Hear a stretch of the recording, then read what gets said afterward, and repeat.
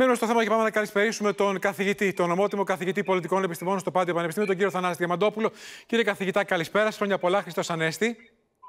Χρόνια πολλά, καλησπέρα σας. Και θέλω να ρωτήσω καταρχήν τι α, οδήγησε σε αυτή την επικράτηση, στη διαμευτική νίκη του Μακρόν με 17 μονάδες διαφορά έναντι της Λεπέν μετά το θρίλερ του πρώτου γύρου; Ναι, τα διότι ακολουθούν τα μολονότη ο Μακρόν θριάμβευσε και δεν είναι απλώς ότι οι προεκάτοχοί του δεν επανεξελέγησαν. Ποτέ κυβερνών μέχρι την τελευταία στιγμή πρόεδρος της Πέμπτης Γαλλικής Δημοκρατίας δεν έχει διασφαλίσει από το λαό δεύτερη θητεία. Ε, εξελέγει παρά το γεγονός ότι ο πληθωρισμός το τελευταίο διάστημα κάλπαζε και παρά το γεγονός ότι οι δυσαρέσκειες μιας κοινωνίας δομικά ανικανοποίητης όπως είναι η γαλλική είχαν εκδηλωθεί πολύμορφα και με μια έντονη αντισυστημική ψήφο. Νομίζω ότι οι λόγοι της θριαμβευτικής αυτής νίκης του που συνιστά και προσωπική επιτυχία έχουν να κάνουν με μια οικονομική επιτυχία, το ότι δηλαδή δίνοντας έμφαση στην ανάπτυξη θέσεων εργασίας, στην αιχμή της τεχνολογίας, εκμυδένισε ή εν πάση περιπτώσει ε, συρρήκνωσε όσο ποτέ την ανεργία των νέων και επίσης ότι η αντισυστημική ψήφος, η ψήφος δυσαρέσκειας, η ψήφος απόρριψης του ευρωπαϊκού ε, γίγνεσθε, του δυτικόστροφου προσανατολισμού, των παραδοσιακών κεκτημένων της φιλελεύθερης αστικής δημοκρατίας είναι μεν πανίσχυρη, διαμοιράζεται όμως στα δύο αντίθετα άθρα, άκρα, τα οποία επικοινωνούν αλλά δεν αθροίζονται πολιτικά.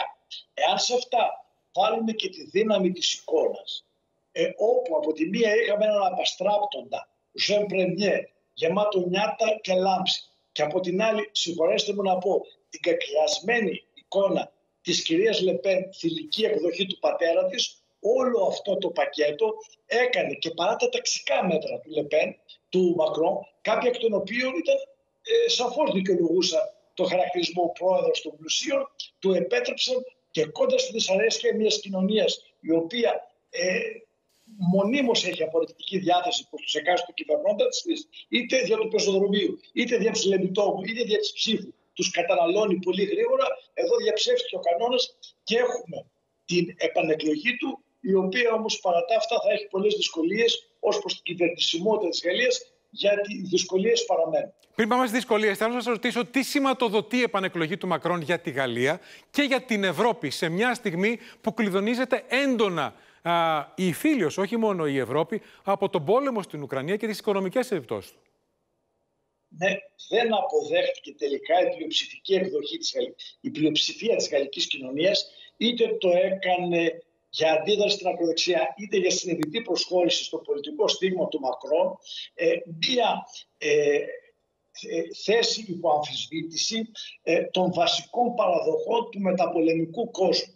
Το, την σύμπλευση Γαλλίας-Γερμανίας, τη σταθερή στάση έναντι των δικτατόρων που είναι και πολεμοχαρείς δικτάτορες, τελικά όλα αυτά διασφαλίζουν στην Ευρώπη μία ασφάλεια, μία προβλεψιμότητα και μία συνοχή της δράσης της και είναι ένα πολύ μεγάλο κεκτημένο και για τη Γαλλία και για την Ευρωπαϊκή Ένωση ως σύνολο. Το διαφορετικό θα ήταν εξαιρετικά επικίνδυνο και οι κλειδονισμοί και οι αναπροσδιορισμοί τη εξωτερικής πολιτικής της Γαλλίας μέσω δε αυτών και όλου του ευρωπαϊκού γίγναστε θα ήταν επίφοβη, ιδιαίτερα επίφοβη. Εφιάλτης, θα έλεγα, αν είχαμε τη Λεπέν στο τιμόνι της Γαλλίας, ειδικά τη συγκεκριμένη στιγμή. Τώρα, μιλήστε για δυσκολίες. Η Γαλλία έχει βουλευτικές εκλογές ε, στα μέσα Ιουνίου, 12-19 Ιουνίου. Ναι. Και το ερώτημα είναι, ποιες δυσκολίες, ποια αγκάθια έχει μπροστά του ο Μακρόν; Και το ρωτώ αυτό, γιατί βλέπω σήμερα τον γαλλικό τύπο εκφράζει πολύ σοβαρές αμφιβολίες για το κατά πόσον θα μπορέσει να κερδίσει την πλειοψηφία, την απαιτούμενη πλειοψηφία στη Γαλλική Εθνοσυνέλευση ο Μακρόν.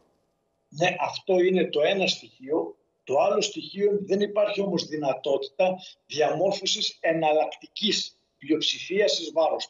Όπως είπαμε, τα άκρα επικοινωνούν αλλά δεν αθρίζονται. Και πολύ λιγότερο αυτό μπορεί να γίνει στις βουλευτικές εκλογές. Αυτό που μπορεί να συμβεί είναι η στενή πλειοψηφία του Μακρόν να μην αρκεί για να μπορεί να διαχειρίζεται και να καθοδηγεί το κοινοβούλιο όπως έκανε μέχρι τώρα και να αναγκαστεί να κάνει μια διευρυμένη πλειοψηφία η οποία θα πηγαίνει από τη μετριοπαθή ε, δημοκρατική δεξιά μέχρι την μη εφεροβάμωνα αριστερά.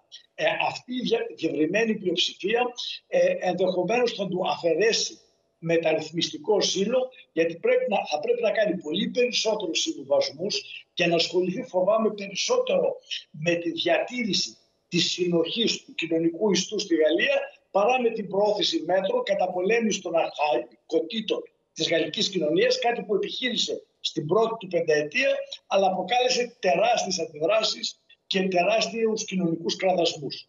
Τελευταίο ερώτημα. Πόσο θα πρέπει να ανησυχεί την Ευρώπη το 42% της ακροδεξιάς στη Γαλλία; Τόσο πήρε η Λεπέν τελικά. 42% το υψηλότερο ποσοστό που έχει πάρει η γαλλική ακροδεξιά. Θα έλεγα ότι δεν θα πρέπει να ανησυχεί το 42% ε, της Λεπέν, αλλά το 80% περίπου της αντισυστημικής ψήφου.